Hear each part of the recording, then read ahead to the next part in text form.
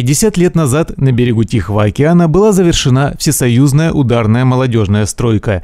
Буквально на глазах в тайге выросли причалы, терминалы, перегрузочные комплексы. Так появился Восточный порт. Празднование юбилея отметили масштабно. На главной сцене выступили знаменитые артисты и творческие коллективы. Для детей и взрослых работали батуты, спортивные площадки и другие развлекательные активности, например, стрельба из лука и прокат велосипедов. 50 лет назад здесь, в поселке Береговом, на берегу бухты родился порт. Именно тогда более старшее поколение молодых комсомольцев приехало сюда с тем, чтобы строить поселок, с тем, чтобы создавать инфраструктуру, строить терминалы, перегрузочные комплексы, причалы. Все это было сделано в довольно короткое время.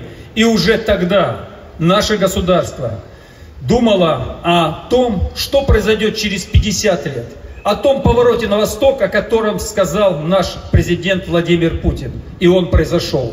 Сегодня специализированный терминал порта служит образцом передовых технологий в обработке грузов. Сегодня создана мощнейшая структура, которая является лучшей в Российской Федерации.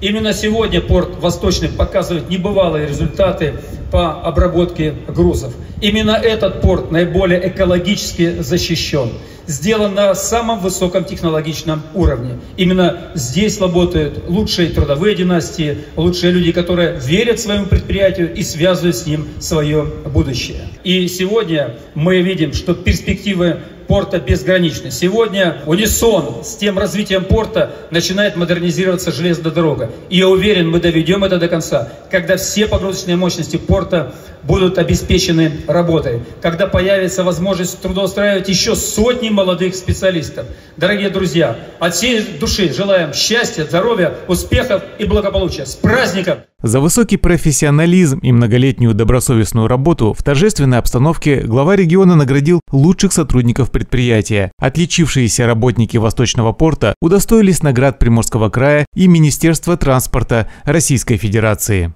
Артем Белов, Диана Иванова. Новости на восьмом.